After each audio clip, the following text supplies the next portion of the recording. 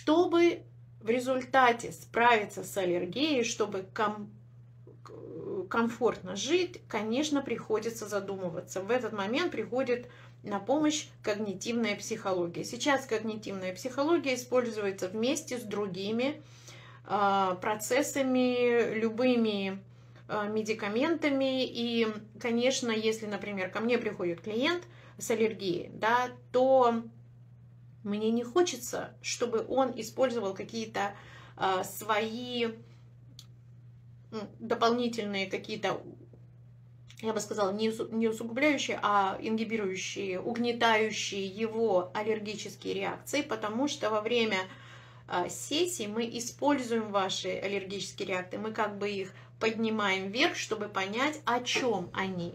Аллергические реакции имеют очень хорошую способность разговаривать на самом деле. А, давайте вернемся к вот этому аллергическому а, полинозу, который у меня возник. Значит, итак, возникла ассоциация. Ассоциация – это когда одна вещь ассоциирует с другой вещью. То есть возникает вот такая связь. Когда это происходит, и в этот момент что-то происходит психологически, то, естественно, ваш организм все это запоминает. Мозг все это запоминает, потому что ему нужно как-то на это реагировать. Мозг еще не знает, как он будет на это реагировать, и это диалог между вашим воспитанием, тому, на что вы уже способны, и здесь человек начинает как-то проявляться. Поэтому можно вернуться обратно и разобрать все это. Как же я проявлялась? Ну, например, если человек, который э, хочет доказать, что он лучше какого-то другого человека, он будет делать какие-то яркие э, показатели, да, он будет показывать, что он какой-то смелый, он может быть даже стать каким-то смелым. И недавно я спросила у своего брата, а что ты помнишь из моего детства? Ты помнишь, что что-то там, я исследовала эту аллергию, ты помнишь, что что-то, э, там, мама говорила, и мой брат мне говорит, ты была очень смелая, ты была а не то, что смелая, а просто вот безумная какая-то смелая. Если тебе что-то нужно было, ты обязательно а, там бросалась туда, как будто бы, говорит, у тебя были шоры на глазах, и ты бросалась так, чтобы этого достичь, иногда там дралась, иногда там, а, там доказывала свою силу, сама себя защищала. А с друг...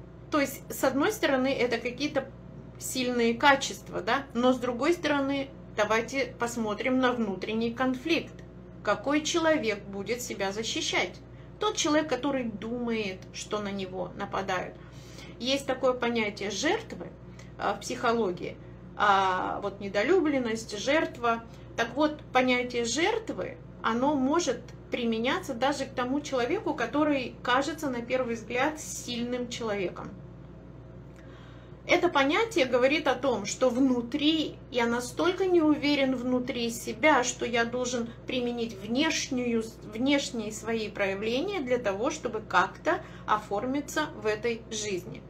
И возникает вот этот конфликт. Я все время буду возвращаться от того, какие симптомы, а, как э, причина, по которой мы э, получаем эту аллергию, и симптом того, что внутри есть какой-то конфликт, это самое коррелирует с тем, что почему же наша собственная там, кожа, наша собственная слизистая, которая должна нас защищать, она от этого страдает, потому что от этого конфликта, атаки самое на себя страдает, это как метафорически, ваши антитела говорят, что-то внутри тебя не так, давай-ка я это исправлю, давай-ка я это буду атаковать.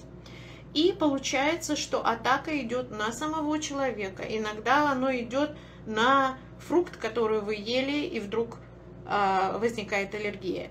Наверное, в Хмельницком тоже были там Тимофеевка. Это просто обычная очень травка такая полевая.